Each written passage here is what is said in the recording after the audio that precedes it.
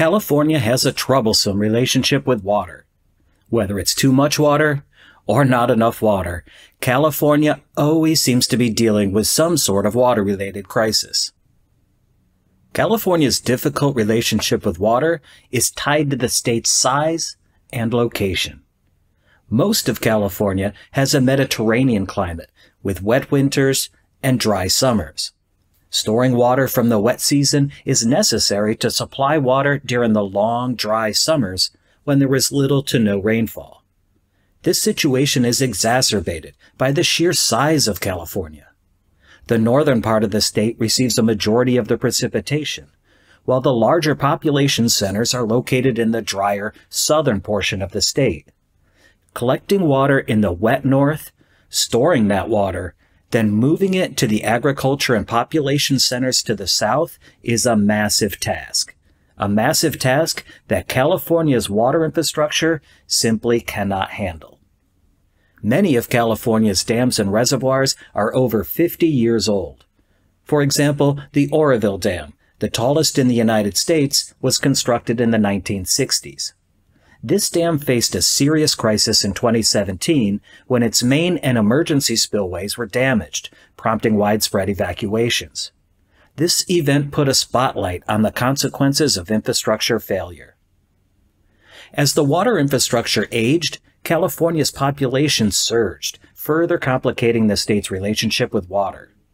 Thanks to that wonderful Mediterranean climate and a booming economy, California's population has nearly doubled in the past 50 years. In 1970, the population of California was just over 20 million people. Today, that number is closer to 40 million. The fundamental issue lies in the capacity to store water during periods of abundance. Using the classic analogy of a bank account, the idea is to deposit surplus water into a savings account to draw upon during times of water scarcity. Unfortunately, California's savings account, its water storage system, isn't large enough to hold the volume of water needed to satisfy demand throughout the arid summer months. On November 2nd, the Bureau of Reclamation and the Sites Project Authority announced they had finalized plans to create a new reservoir in Northern California. The proposed reservoir, named Sites, would be the second largest off-stream reservoir in the nation and would increase Northern California's water storage capacity, or the size of its bank account, by up to 15%. The reservoir will boost water supplies for more than 24 million people, mostly in Southern California, and 500,000 acres of Central Valley farmland. Okay, an off-stream reservoir is a reservoir that is not located on a river or stream. It is supplied by a pipeline or an aqueduct. The San Luis Reservoir in Central California is the largest off-stream reservoir in the United States. Although technically it is located on a small stream, it gets the vast majority of its water from the California Aqueduct. This is achieved by pumping the aqueduct water uphill to the reservoir. Since the Sites reservoir is an off-stream reservoir, the single monolithic dam that we're used to that typically creates a reservoir is not required. Instead, a complex series of dams and dikes along with the natural contours of the surrounding foothills, will work together to create the reservoir. First, we have the two main dams, the Sites Dam and the Golden Gate. The Sites Dam will be built across the Stone Corral Creek, and the Golden Gate Dam will block Funks Creek. And finally, six smaller saddle dikes will hold in the north end of the lake. Okay, time for another quick knowledge nugget. A saddle dike, also referred to as a saddle dam, is a secondary dam constructed to close off a low point in the natural reservoir perimeter. The term saddle comes from the shape of the geographical feature it typically occupies. It often resembles a saddle in the landscape. It's basically just a low point on the ridge between two higher points. The New Sites Reservoir project is designed to pump between 470 and 640,000 acre feet of water per year from the Sacramento River. This water will be pumped through existing canals to the reservoir located about 14 miles away. The water will only be pumped from the Sacramento River when the water is running high, such as during major store events or during the spring runoff. The water will be pumped from the Sacramento using a new pumping station near Red Bluff, California. The water will then be carried to the reservoir by the existing Tehama-Colusa and Glenn-Colusa canals. The project includes a new pumped storage hydroelectric plant, but will actually be a net power consumer. The new power plant, however, does offer a few benefits. First, it will be able to generate peaking power, so during times of peak electricity consumption, this new power plant could provide some power to reduce the load. It's also designed to provide large-scale energy storage, allowing the power plant to store electricity for use during peak power. The Sites reservoir is expected to have a capacity to store up to 1.5 million acre-feet of water. This will make the Sites reservoir the sixth largest in California in terms of capacity.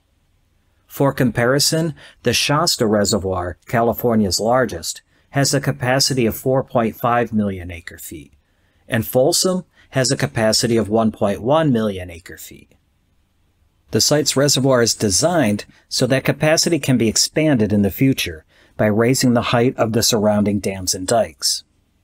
During dry months or even dry years, water will then be released from the reservoir back into the Sacramento River system to meet various demands, such as municipal water supplies and agriculture. Although the concept of the Sites reservoir has been around for decades, progress on the project has been painfully slow. The idea for the reservoir first emerged during the birth of the State Water Project back in the 1960s, but interest dropped off as other water projects took priority. Then, in the late 1990s, as California's population continued to grow, concerns over the water supply returned. At this point, the state revisited potential water storage solutions, including the Sites reservoir. In 2014, California voters passed Proposition 1, which allocated funds for several water storage projects, including sites. From that point, several environmental reports were conducted, economic studies were conducted, and more funding has been secured. Then in June of this year, water officials formally approved the water rights application for the Sites reservoir. Securing these water rights was one of the biggest obstacles that could have halted the project permanently. Then finally, on November 2nd, the Bureau of Reclamation, along with California's State Water Project, released the final environmental impact report for the Sites reservoir. Along with securing the water rights, this environmental report is the last thing standing in the way of making the Sites re- reservoir a reality. Construction of the project should start sometime in 2026 and is expected to take about six years to complete. The estimated cost for the Sites project is in the billions of dollars, with figures ranging from 3.5 to 5 billion dollars or more, depending on changes in design, capacity, and of course the cost overruns that are typical of these large infrastructure projects. The Sites reservoir will be operated by the California State Water Project with an annual operating cost of between 10 and 20 million dollars.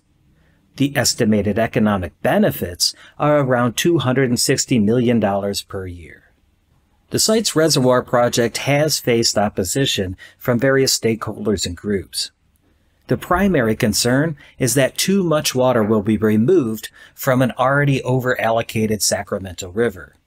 Siphoning more water away from the river will simply quicken the river's environmental collapse. Proponents of the Sites reservoir counter that water will only be pumped from the Sacramento River in times of abundance. And that the new reservoir will actually enhance the health of the river by releasing water in times of drought, thereby maintaining the river's flow to support fish populations and flushing salt water out of the San Joaquin Delta. So there you have it. The Sites reservoir project has been long in the making, but we finally have some progress. And we may even see shovels hit the dirt sometime soon. That's it for today's video. As always, thank you for watching. Please hit the like button on this video and consider subscribing. I really value your support.